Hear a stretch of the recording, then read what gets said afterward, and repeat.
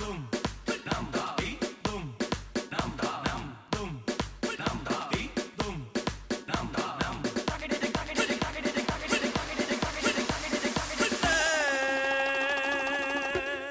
Pop.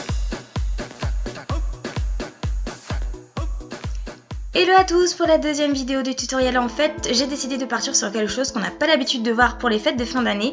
En l'occurrence un train ultra glowy, glossy, lumineux avec euh, voilà des highlighters, des trucs bien lumineux. Donc je commence juste par mettre un brin lumineux justement au coin externe de mon œil. Alors là c'est un brin que j'ai dans une palette de bronzer de chez ULF mais comme il est très lumineux je pars là-dessus. Ensuite je prends un gloss. Et oui c'est un gloss euh, que Marion m'avait offert. C'est un gloss cuivré que je vais appliquer sur mes yeux et ensuite, je vais l'estomper tout simplement au doigt et ça va donner un effet un peu euh, bah, yeux transpirants. Enfin, c'est pas très très glamour, mais au final, je vous assure que euh, le rendu final, ça va être vraiment vraiment super joli.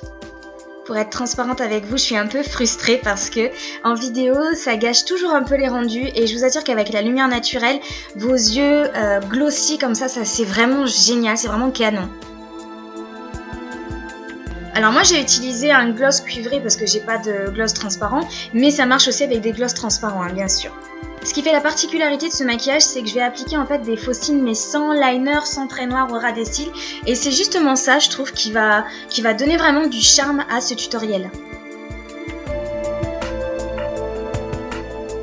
J'applique du mascara au ras des cils, mais je m'arrange pour vraiment que ce soit assez naturel et que ça fasse pas, voilà, comme d'habitude, euh, genre énormément de mascara.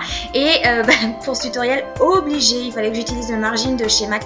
Je sais pas si vous allez bien voir, mais il n'y a pas plus magnifique niveau euh, luminosité que ce blush qui est limite un highlighter. Et en parlant d'highlighter, transition, j'utilise mon Soft and Gentle de MAC que j'applique au bout du nez, mais aussi sur le tour de ma lèvre supérieure et bien sûr au-dessus de margin, parce que oui, entendons-nous, j'ai pas assez d'highlighter, donc j'en rajoute encore une petite couche. Voilà, voilà.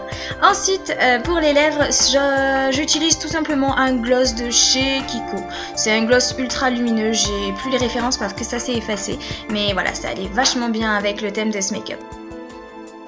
Et voilà Et puis j'ai donc accessoirisé avec les boucles d'oreilles discrètes, n'est-ce pas Et ce collier discret, enfin bref, c'est tout moi. J'espère que ça vous aura plu, je vous embrasse et je vous dis à la prochaine vidéo. Ciao, ciao